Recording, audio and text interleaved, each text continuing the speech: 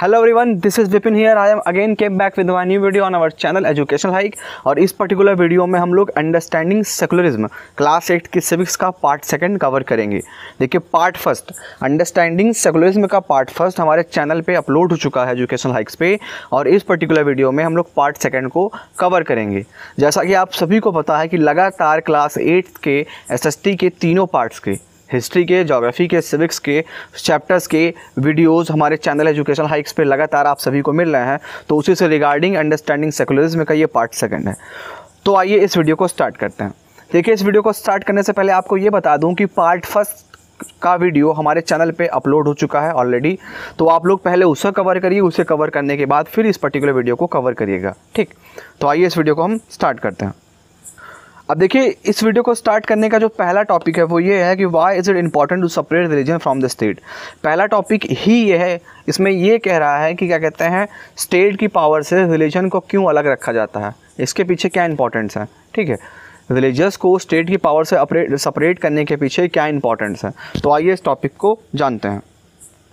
As discussed अब the most important aspect of secularism is it separation of religion from the state power जैसा कि last video में हमने cover किया था, उसमें हमने ये जाना था कि सेकुलरिज्म का मतलब क्या होता है। सेकुलरिज्म का मतलब होता है कि सभी धर्म के लोगों को एक बराबर मानना। मीन्स स्टेट की पावर को रिलीजन से अलग रखना। या आप ये भी कह सकते हैं कि रिलीजन को स्टेट की पावर से सपरेट रखना। ऐसा क्यों किया जाता है? ऐसा इसलिए किया जाता है कि जो भी डेमोक्रेटिक फॉर्म ऑफ़ गवर्नमेंट होती है, वो अच्छे तरीके से रन कर सके। वहाँ पर किसी प्रकार का को कोई भी सिविल वार या वायलेशन जैसी कंडीशंस ना क्रिएट हों। ठीक? अब हम आगे चलते हैं। Almost all countries of the world will have more than one religious group living in them जैसा कि ये कह रहा है कि पूरे के पूरे विश्व में जितने भी देश हैं सभी देशों में एक से अधिक धर्म के लोग रहते हैं। ओके okay, आगे। Within these religion groups there will most likely to one group that is in majority लेकिन आपने देखा होगा कि जितने भी देश हैं वहाँ पे हर देशों में कोई ना कोई एक रिलीजियस के लोग मेजॉरिटी में होते हैं। मतलब कि किसी न किसी एक कम्युनिटी के या किसी न किसी एक धर्म के लोग ज़्यादा संख्या में होते हैं। If this majority religious group have access to state power then it could quite easily use their power and financial resources to discriminate against and persecute person of other religion देखो, ये कह रहा है कि अगर सपोज़ करिए कि जो लोग मेजॉरिटी में हैं, जिनकी संख्या उस पर्टिकुलर देश में ज़्यादा है, अगर उन्हीं के पास स्टेट की पावर आ जाएगी तो वो लोग क्या करेंगे? वो लोग अपने पावर का मिसयूज़ करेंगे। वो लोग अपने पावर का यूज़ करके उन लोगों को डिस्क्रिमिनेट करने की कोशिश करेंगे जो संख्या में कम है। ठीक है? फिर से एक बार बता दे रहा हूँ आपको। या ध्यान दीजिएगा आप लोग। ठीक है? सपोज़ करिए किसी एक पर्टिकुलर कंट्री में किसी पर्टिकुलर क्या कहते हैं कम्युनिटी या रिलीजन के लोगों की संख्या ज़्यादा है ओके और अगर उन्हीं के पास स्टेट की पावर आ जाए तो वो लोग क्या करेंगे? वो लोग माइनॉरिटीज़ कम्युनिटीज़ के लोगों को डिस्क्रिमिनेट करने की कोशिश करेंगे। उनको हर पर्टिकुलर स्टेज पर मतलब उनसे भेदभाव करने की कोशिश करेंगे। ठीक?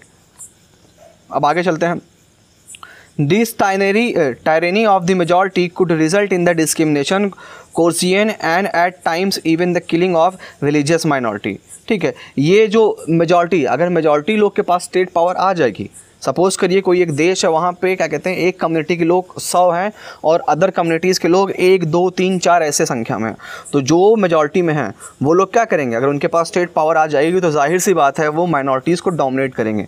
माइनॉरिटीज़ के लोगों के ऊपर अत्याचार करेंगे, उन्हें मारेंगे, पीटेंगे, उन्हें दबाने की कोशिश पूरी तरीके से करेंगे। ठीक, आगे चलते हैं। The majority could quite easily prevent minority from the practicing this religion any forms of domination based on religion is in violation of the right that a democratic society guarantee to each and every citizen irrespective of their religion देखिए, कह रहा है कि एक democratic form of government में ये सब चीज़ें नहीं होती हैं। डेमोक्रेटिक फॉर्म ऑफ़ गवर्नमेंट में अगर डेमोक्रेटिक फॉर्म ऑफ़ गवर्नमेंट है और सेकुलर मॉडल को अडॉप्ट किया है तो वहाँ पर ये मेजॉरिटी और ये माइनॉरिटी ऐसी चीज़ें नहीं होती हैं।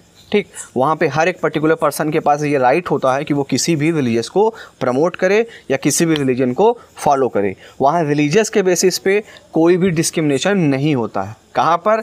ऐसी कंट्रियाँ जो डेमोक्रेटिक फॉर्म ऑफ़ गवर्नमेंट होती हैं और जहाँ पे सेकुलर मॉडल एडॉप्ट किया गया होता है। जैसे हमारी कंट्री इंडिया है। हमारी कंट्री इंडिया में जो मेजॉरिटी ऑफ़ जो भी रिलीजन मेजॉरिटी में है, वो रिलीजन के लोग माइनॉरिटी रिलीजन के ऊपर अत्याचार नहीं करते हैं। क्यों? क्योंकि हमने सेकुलर मॉडल अडॉप्ट किया है और यहाँ पर सभी रिलीजन्स के लोगों को इक्वली ट्रीट किया जाता है। और हमारे इंडियन कॉन्स्टिट्यूशन में ये एज अ फंडामेंटल राइट है। ठीक? आगे चलते हैं। Therefore the tyranny of the majority and the violation of fundamental rights that can result is a one reason why is it important to separate the state and religion in democratic society यही बताया ना कि क्या कहते हैं यही एकमात्र reason है। मेजॉरिटी की टायरनी फंडामेंटल राइट्स पे और माइनॉरिटी कम्युनिटी के ऊपर ना हो, इसीलिए क्या कहते हैं रिलीजन को स्टेट की पावर से अलग रखा गया है। मैं एक बार फिर से बता दूँ आपको कि क्या कहते हैं रिलीजन को स्टेट की पावर से क्यों अलग रखा गया है? रिलीजन को स्टेट की पावर से इसीलिए अलग रखा गया है कि जो भी रिलीजन मेजॉरिटी में हो, जो भी रिलीजन ज़्यादा संख्या में हो, वो कम संख्या वाले रिलीजन के ऊपर अत्याचार न कर सके और फंडामेंटल राइट्स का वायलेशन न कर सके। ठीक? तो आई होप यहाँ तक समझ में आ गया है। अब हम लोग नेक्स्ट पैराग्राफ की ओर बढ़ते हैं। And as another reason that is important to separate religion from the state in democratic society is because we also need to protect the fundamental of individual to exist, form their religion, embrace another religion or have the freedom to interpret religious teaching differently. देखो ये another reason कर रहा है another reason में ये ये बताने की कोशिश कर रहा है कि डेमोक्रेटिक फॉर्म ऑफ़ गवर्नमेंट में जहाँ पे सेकुलर मॉडल अडॉप्ट किया होता है वहाँ पे हर एक इंडिविजुअल के पास ये राइट्स होते हैं हर एक इंडिविजुअल के पास ये फ्रीडम होता है कि वो किसी भी रिलीजियस को फॉलो करे, किसी भी रिलीजियस को प्रोपोगेट करे प्रोफेस करे, ठीक? और उसके बाद ऐसी पर्टिकुलर कंट्रीज़ में सभी रिलीजियस को अलग अलग सभी रिलीजियस के लोगों को अलग अलग तरीके से पढ़ाया भी जाता है, ठीक? तो ये भी एक क्या कहते हैं रीज़न है आपके, इसके पीछे कि रिलीजियस को क्यों स्टेट की पावर से अलग रखा गया है। अब आगे चलते हैं। To understand this point better let us take the practice of untouchability आइए इस पॉइंट को और अच्छी तरीके से समझते हैं। एक बहुत ही ब्यूटीफुल एग्ज़ाम्पल की मदद से, और वो एग्ज़ाम्पल है अनटचबिलिटी का। ठीक।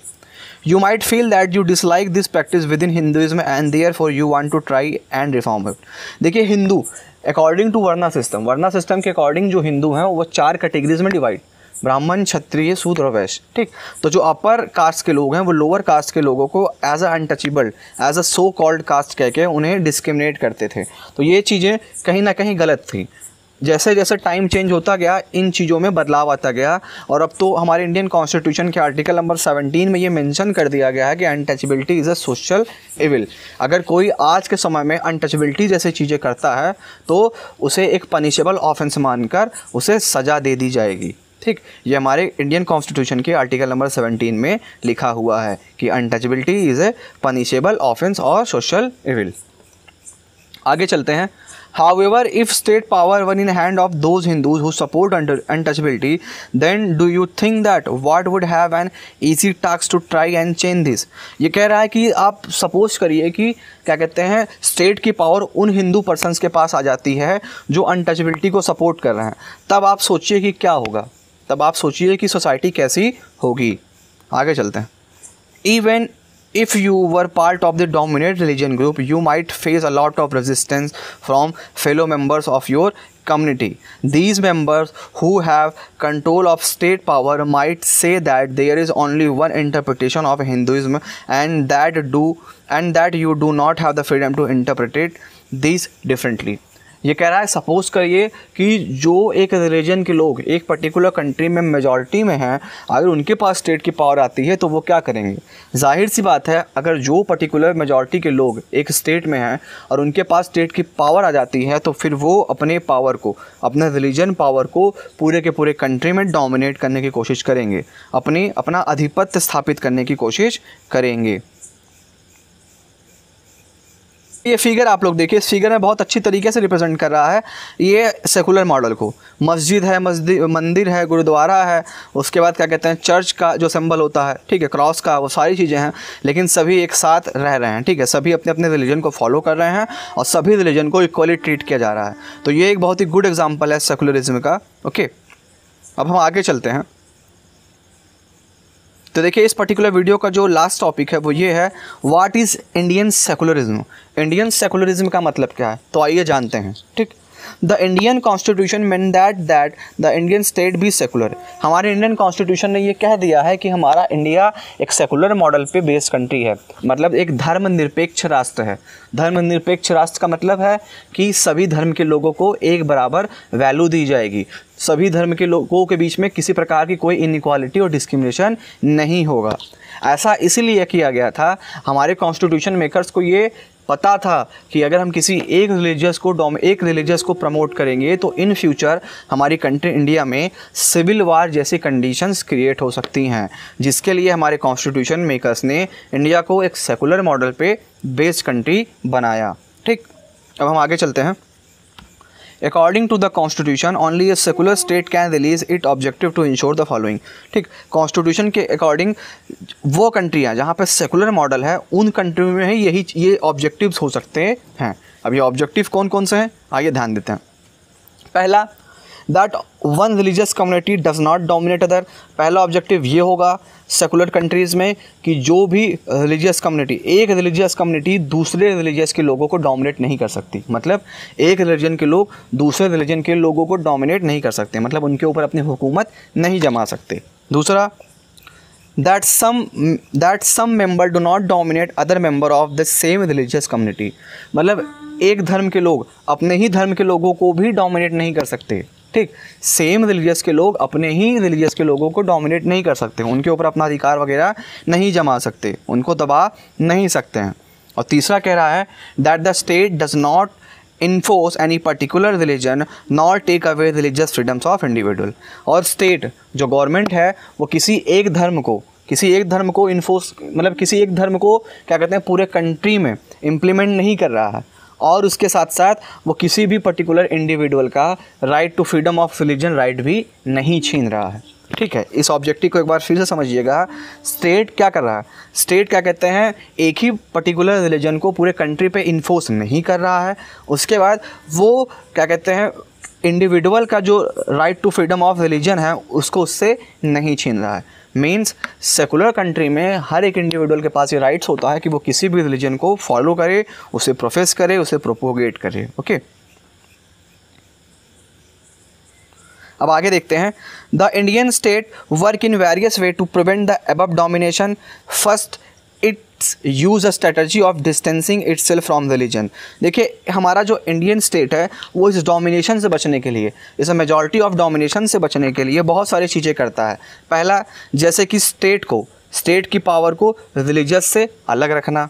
दूसरा the Indian state is not ruled by religious group and not does it support any one religion अब देखो ये कह रहा है दूसरे में कि इंडिया एक ऐसा स्टेट है जो किसी एक सिंगल रिलीजियस ग्रुप के द्वारा नहीं चलाया जा रहा है और नहीं, ना तो किसी एक सिंगल रिलीजन को प्रमोट कर रहा है। ठीक? इसको फिर से ध्यान दीजिएगा। सेकंड पॉइंट में ये कह रहा है कि इंडियन स्टेट ना तो किसी रिलीजन एक सिंगल रिलीजन के ग्रुप के द्वारा चलाया जा रहा है और ना ही किसी एक सिंगल रिलीजियस को ये प्रमोट कर रहा है। आगे चलते हैं। In India, governments spaces like law court, police station, government school and offices are not supposed to display or promote any one religion ये कह रहा है कि कंट्री में, हमारे कंट्री में चाहे पुलिस स्टेशन हो, चाहे आपका कोर्ट हो, चाहे गवर्नमेंट स्कूल्स हो, चाहे ऑफिसेज हो, कोई भी जगह हो, कोई भी पर्टिकुलर जगह, कहीं पर भी आप देखेंगे कि कोई भी पर्टिकुलर ऑफिसर जो भी ये डिपार्टमेंट्स हैं, ये किसी भी एक सिंगल रिलीजन को प्रमोट नहीं करते हैं। क्यों? क्योंकि इंडिया एक ऐसी कंट्री है जो सेकुलर मॉडल पर बेस्ड है। यहाँ पे सभी रिलीजियस को इक्वली ट्रीट किया जाता तो आई होप ये वीडियो आप लोग को पसंद आया। अगर पसंद आया तो प्लीज़ आप लोग लाइक करिएगा लाइक करिएगा। और अगर आप लोग हमारे चैनल पर नए हैं तो प्लीज़ चैनल को सब्सक्राइब करिएगा।